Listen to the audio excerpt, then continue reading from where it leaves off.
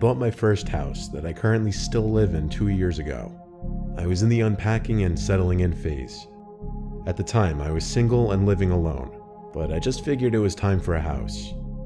I had a couple friends over to help me unload the truck full of boxes, and I paid them with food since they wouldn't accept money. They hung around for a few hours after just to hang out. When my friend Dale went to the bathroom, he came back and said he heard some noises from inside the walls, and that it sounded like there were some pipe issues. I took note of it, and the two of them left a little later. Since it was a Saturday, I stayed up pretty late on my laptop watching Netflix. However, I was hearing some light thumping sounds from above me, which was odd because my bedroom is upstairs. The only thing that could be above me would be the attic. Then I remembered Dale's comments about the noises from inside the walls. I went to the attic door and pulled it down, and I actually had to take a deep breath because I was a bit nervous. I climbed the stairs into the attic and pulled the light switch down. One very dim yellow light buzzed on, just barely lighting up the attic, the noises in the walls stopped though. Either that, or the noises just weren't coming from the attic, I imagined. With no boxes up there yet, it was just basically a big empty space, and I could clearly see no one was up there. The only things in the entire attic were a couple giant framed paintings leaning on one of the walls. I went back down to my room and tried to get some sleep, but I heard the noises again. Now I started to fear there was a small animal on the walls, like a raccoon. The sound still seemed to be coming from directly above my room. It had to be in the attic. So once more, I went up into the attic and looked to where I thought would be directly above my bedroom. The thing is, the attic didn't seem to extend the entire length of the house, so there's a wall covering where the section above my room should be. I walked over to the wall just to listen for potential noises, and I did hear noises from the other side of this wall. Then I looked at the two paintings leaning on the wall, how they were slightly angled. My heart started to race. I walked to the paintings and slightly angled one upwards off the wall, revealing a big hole in the wall. It took a few seconds for the reality to sink in. As I held the painting at an upright position, the painting was suddenly pushed out of my grip to fall flat on the floor. I nearly had a heart attack. Out from the hole came this sickly looking girl. She seemed to be high on something. She was shaking, making weird noises and she would start this creepy laughing. She grabbed onto me and dug her nails into my shoulders so hard I screamed, and I pushed her as hard as I could off of me. She fell backwards into the secret room, and I ran to the exit and shut the attic door behind me. I locked myself in my room as I called the police and reported that a crazy dangerous person was in my attic. Cops arrived within five minutes.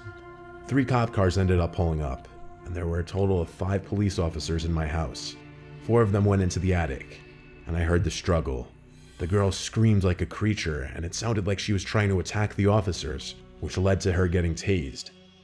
They finally managed to get her in cuffs and carry her out of the attic and outside to one of the cars.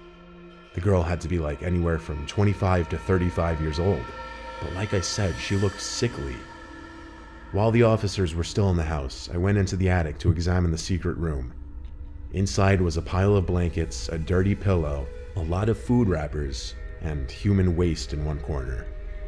It seemed as though this girl had been up there for a long time. It was truly a nightmare to discover this on my first night in my new house. The girl was taken to a nearby psychiatric center to get her the help she needed.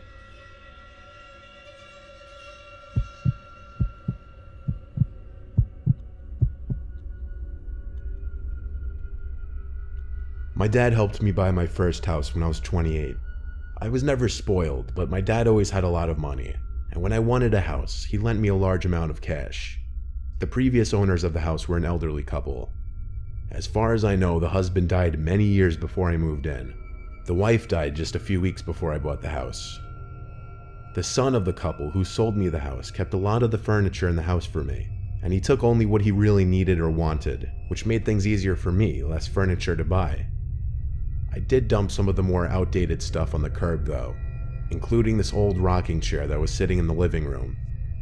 A lot of the furniture just had an older, creepy vibe that I didn't want in the house. The next day, I was cleaning out more junk in the upstairs section of the house for most of the day. A lot of it was heavy lifting, so I'd take breaks in between, and this ate up most of the day. I didn't really get an ounce of sleep the night before, as I have a mild form of insomnia which affects me certain nights. That second night, having moved into the house, I went out to get some Chinese for dinner because I had no energy to cook. When I got back, I was disturbed to find the front door was unlocked. Now, I truly don't remember if I had simply forgotten to lock it or not. I wanted to believe I forgot, but it just seemed so unlikely I'd forget to do that, especially with my brand new house. I started flicking on every light of every room on the main floor. The more light, the safer I'd feel. I then proceeded up the stairs to do the same there, in the common area and in all three bedrooms.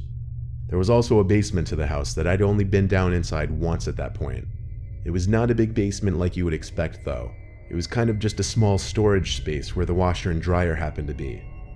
I was already feeling a lot more confident that I had just simply forgotten to lock the door, but I still had to check the basement before I could confirm this. I opened the basement door and I flicked on the light. As I got halfway down the stairs, I saw an old rocking chair sitting in the middle of the basement. I didn't remember it being there the first time I saw the basement, and when I stood over it, I could swear it was the same rocking chair I had thrown away the night before. If not the same one, at least an identical one. I looked around the basement though, and there wasn't anyone down there, so I did calm down just a bit. I headed back upstairs to eat my Chinese food. I remember leaving the basement door cracked open though, which sat right next to the kitchen, and I started hearing rickety, creaking sounds from downstairs. I ran to the basement door and I tried to turn on the light, but it wouldn't turn on this time. All I could think was, what the hell was that noise? I went to the kitchen to grab my flashlight from under the sink, and I went a quarter of the way down the stairs with the flashlight beaming down to the bottom, and I saw the rocking chair moving, and someone was sitting in it. It was an old woman with gray, curly hair, glasses, and she was dressed in a pink nightgown. Her head slowly turned to be looking up at me. I gasped and left the basement, closing the door this time. I don't know what I was immediately thinking at that point. All I knew was I had to call the police. But when they came, they searched the whole basement with me and we didn't find anyone. There were also no hidden compartments or exits down there where she could have escaped through. At a certain point, the cops started looking at me like I was crazy, I knew it, and pretty soon they left. I had the contact details of the son of the couple who owned the house before me, so I called him up around 8 or 9 p.m. and described the lady to the best of my ability. He sounded shook and started to cry over the phone and said I just perfectly described his mother and her favorite nightgown. He said he'd be right over. He got to the house within the hour, and we went downstairs together. He seemed to be in shock the whole time. I could see his hand shaking. He ended up leaving with the rocking chair after a while of talking with me and being very emotional. It may have been emotional for him, but it was the scariest thing I could have possibly ever witnessed with my own eyes. It still stands to be. I kept the basement door locked 24 7 after that, and I'd be scared to do laundry for months.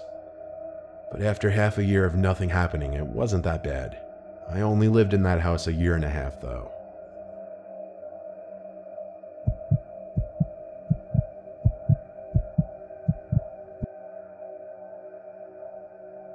When I was 12 years old, my family moved to a new house in the countryside of Louisiana, located near a small village. We'd always live in rural areas, definitely grew up unfamiliar to the city lifestyle or anything even remotely close to that. The property was three acres and very private. On the second night at that house, our dog Parker, who would sleep in my room, started barking and growling in the middle of the night. When he saw that I sat up in my bed, his tail started wagging, but he'd continue to bark and growl. I couldn't tell what he was looking at though, he was just looking towards the corner of the room. I checked the closet and nothing, so I told Parker to shut up, and he did. But I did keep hearing him lift his head off his bed every once in a while, reacting to something. The next day, an older man came and knocked on the front door. My dad answered while I was in the living room watching cartoons. I heard the whole interaction. The old man introduced himself as Gene, the next door neighbor. My dad told me to come over and introduce myself, so I did. Gene seemed very kooky and aloof. Even my 12 year old self could realize that. But he seemed nice, I guess. The next day, I was in the backyard playing Pokemon on my Game Boy. My dad was in the front of the house mowing. The rest of my family wasn't home. Oddly enough, over walks Gene wearing a farmer's hat and overalls, talking to me in his thick southern accent, asking what I was up to. He actually sat down at the table with me, which made me uncomfortable, especially considering he just walked into our backyard. Albeit there was no fence separating the front and backyard, but still. I told him I was playing Pokemon, and he knew what it was, immediately making Pikachu noises trying to be funny, but it was just unsettling. I started to realize there really was something off about this guy. My dad came to the backyard with a lawnmower, then turned it off when he saw Gene sitting next to me. He approached us and said hello with a smile, but I could tell based on my dad's face and tone that he was slightly confused what he was doing in our backyard. He never asked him that, but my dad told me I needed to go inside and wash the dishes. I knew he was trying to get me away from him. A few minutes later, my dad came in and asked me if Gene just walked into our yard, and I said yeah.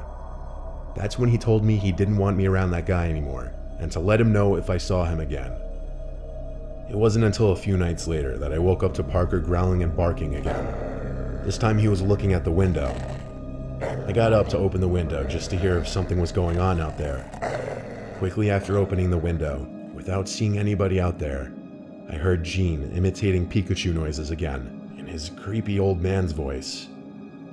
I ran out of my room screaming dad repeatedly. When I told my dad Gene was outside my window, he stormed outside to check. But when he couldn't find him on the property, he went to Gene's house next door. But here's the twist. That Gene guy didn't live next door. An older woman answered the door and had no idea who he was. So my dad went to every single neighboring house, and nobody had ever heard of a Gene. My dad called the police to report the man. Police said they would be on the lookout for him, and it even made the news. We never again saw or heard from Gene, or whatever his real name was.